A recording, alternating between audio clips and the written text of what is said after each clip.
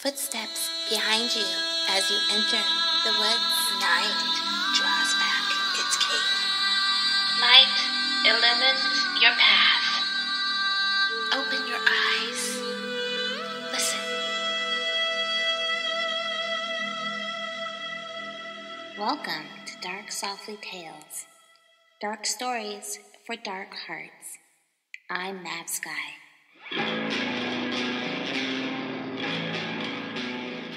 Good evening and welcome to your nightmares, where we like to keep things dark and dreamy at Dark Softly Tales. I'm your host, Mav, and thank you for joining me for part two of the China Doll. If you are brand new, please go back and listen to the very first episode so that you can more easily follow the story of the China Doll. And if you are a return listener, thanks so much for coming back. In the last episode, you may recall that Sabel and her mother discussed the strange symbol on the outside of the box. There are three lines carved, one on top of the other, representing heaven, mankind, and earth. This is a symbol from the I Ching, a form of Chinese divination from an ancient text called the Book of Changes. Think of it as the Chinese version of tarot cards and yet it is so, so much more. In fact, the ancient texts that discuss the I Ching is actually based in quantum physics, time jumping, and also nestled in the philosophy of the yin and yang. Honestly, this is a rabbit hole that I fell into when I started writing this story, and it took a week to pull myself out and get focused again. I found myself getting sucked back in.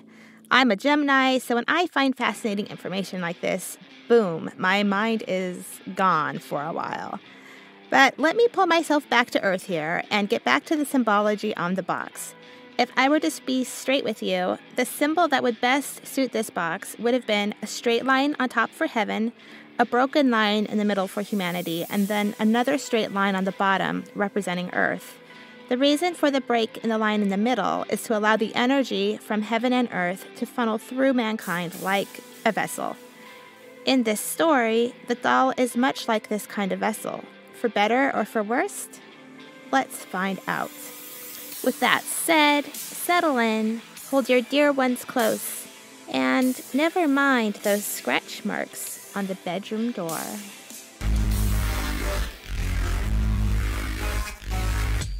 Take my hand and hang on tight as we journey into the dark softly.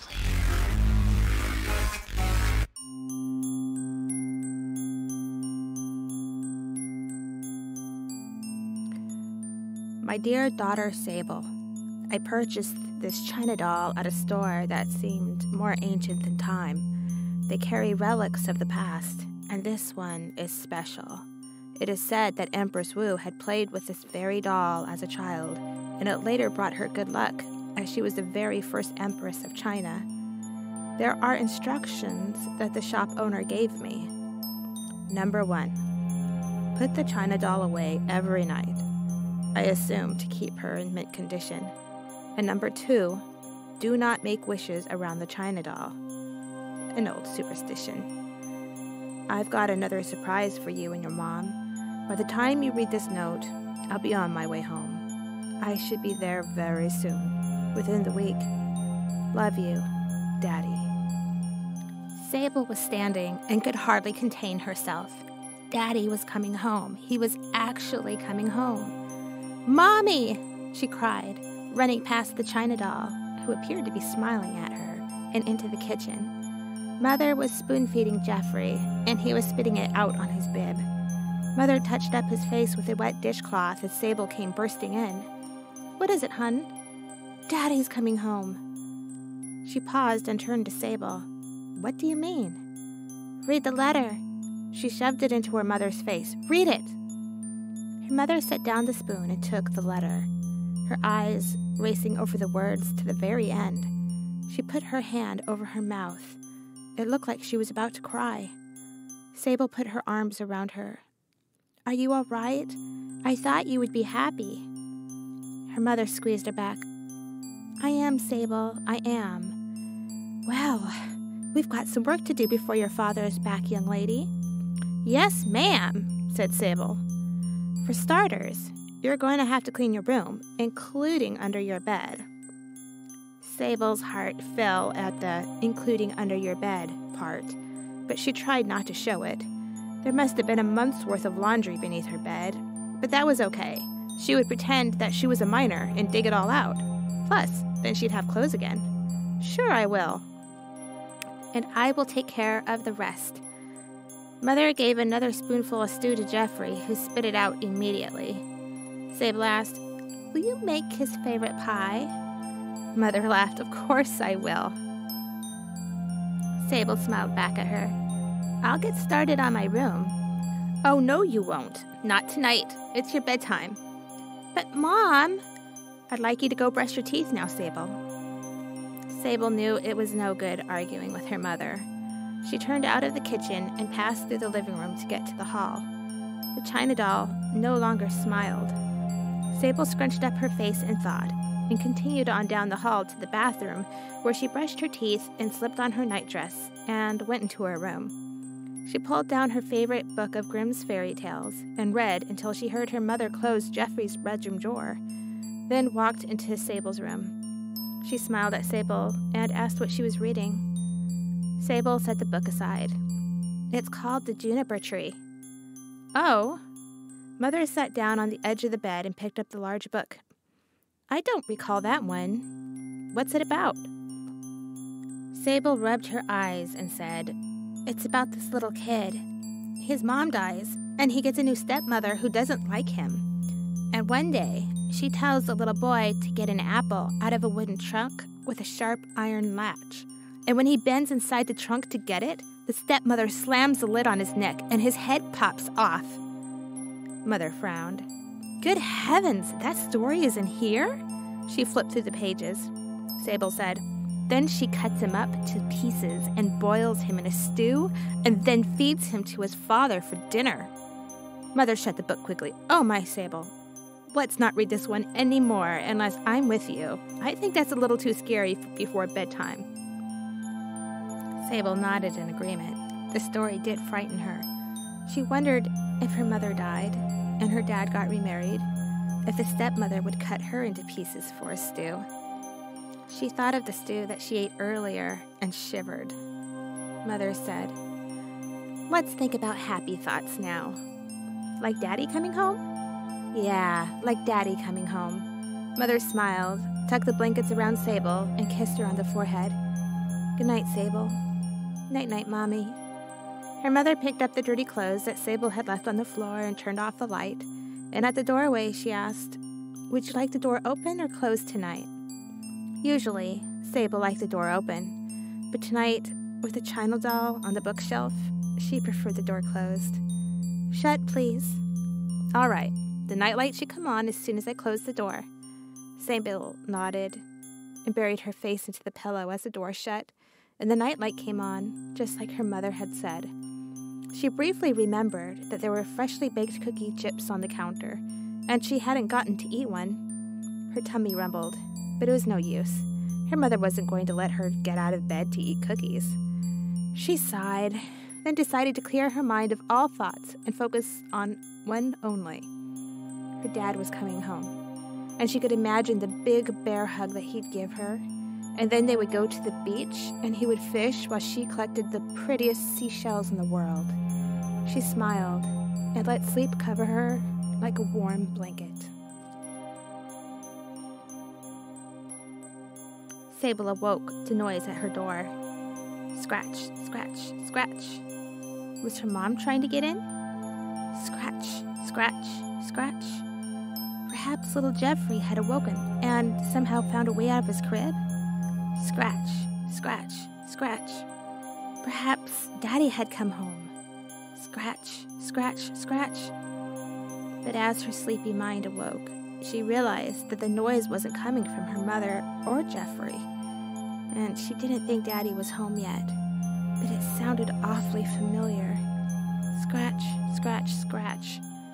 She sat up in bed, grateful for the nightlight, and the scraping noise stopped. She laid back down and stared at her door. willing for the noise to happen again, but as her eyes grew tired and she grew warm inside the covers once more, she became convinced that a mouse was nibbling in the walls. She wasn't sure if she wanted to tell her mother about it, because she might buy mouse poison, and Sabel did not wish death upon any mouse, and she especially didn't want him to get flushed down the toilet to the afterlife. She fell asleep, propped up on her pillows, facing her door. Sabel awoke to her mother's screams in the hallway. Sabel leapt out of bed and tossed open her door to find her mother clutching Jeffrey, tears streaming down her cheeks. Sabel said, Did you see it? Did you see the mouse? Mother soothed the baby in her arms while frantically looking around. What are you talking about? Did you see? Then, oh, oh my. No, I just heard it.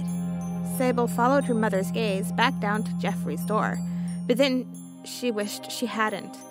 Three long marks were clawed into the wood of the door. Oh! She reached for her mother and hugged her robe. Can mice do that? No, I don't think so. Mother shook her head, and Jeffrey leaned his head against her shoulder and yawned. But maybe, maybe a rat could. Sabel unraveled herself from her mother and walked over to the door and sat on her knees. She ran her fingers along the deep indentations. Her mother joined her. Granny used to tell me stories about the rats in New York. They can do all sorts of things that I never guessed that they could do. So, I suppose it could be. Sabel nodded, but inside she felt scared. Anything big enough to make these kind of marks on the door wasn't something she felt good about having in the house. A mouse was cute and liked to eat popcorn, but rats. Oh, she'd heard Granny tell her stories before, and sometimes they even ate human children. Mother said, I'll buy rat poison at the store today, and that will be the end of that. Mother rushed out of the hall, and Sabel followed her. She carried Jeffrey into the kitchen, and Sabel paused by the china doll. She was in a different position than the one that her mother had put her in last night. The doll was no longer grasping the pole, but standing in front of it. She wrapped one arm about her waist, her hip tilted to the side. She lifted her other arm across her chest, her fingers resting under her chin, as if she were considering a very important decision. Her eyes locked onto Sabel's. Sabel whispered, Dolls aren't supposed to move. The china doll didn't move or whisper back, but her eyes glistened as if she were amused. Mother entered the room with Jeffrey on her hip. Cream of wheat is on the stove, and I'll make you a slice of toast if you like. Mother bent to look at the china doll. Oh, did you move her?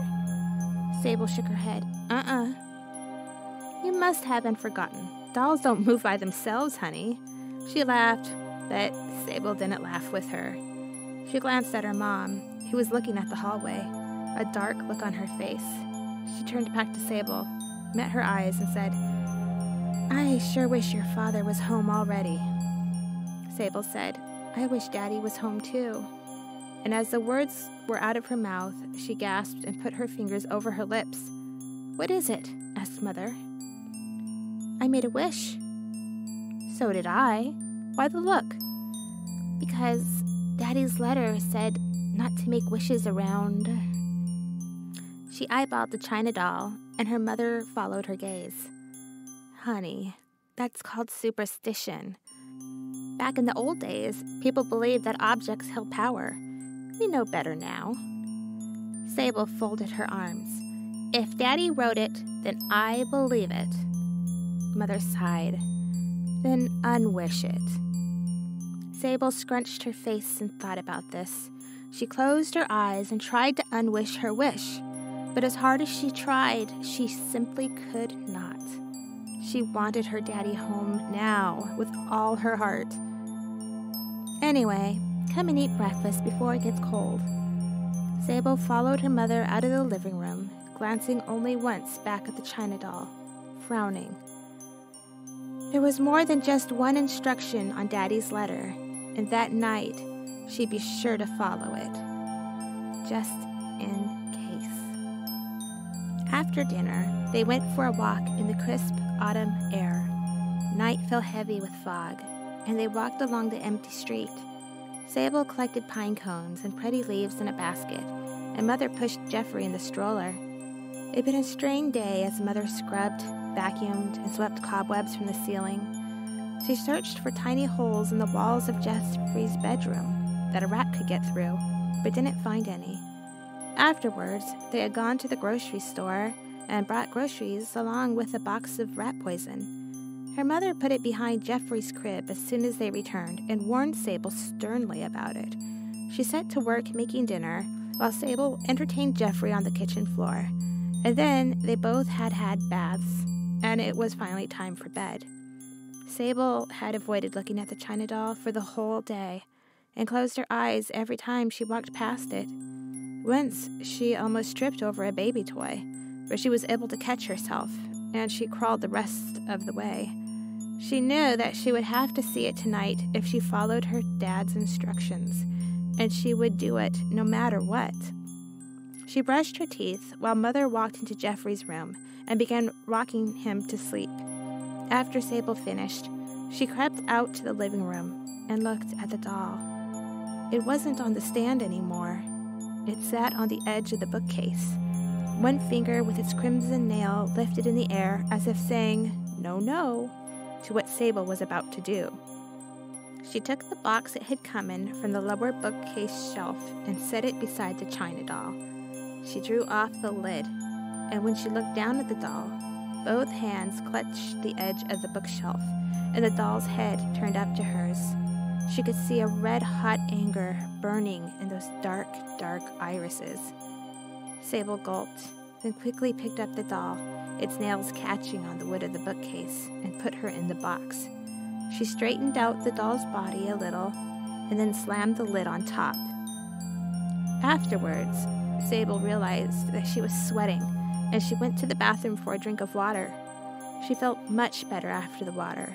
She could hear Jeffrey fussing in his bedroom, the soothing voice of her mother as she comforted him, and Sabel knew that her mother would be a while before putting him down tonight. She slipped on her nightgown, closed her bedroom door, and climbed into bed. She felt better knowing that the china doll was in the box. She hadn't been able to unwish her wish, but as long as the doll was inside the box, she figured it didn't matter anyway. Sabel felt safe, and her daddy would be home soon.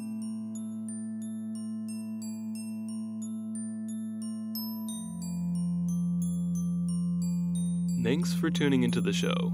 If you've enjoyed today's story and want to know more, check out Mavs' website at darksoftlytales.com and click on the podcast tab. Like Mav on Twitter at darksoftlytales or join her Facebook page at Mav Skye. Please remember to follow and leave a review on iTunes to keep the podcast going and growing.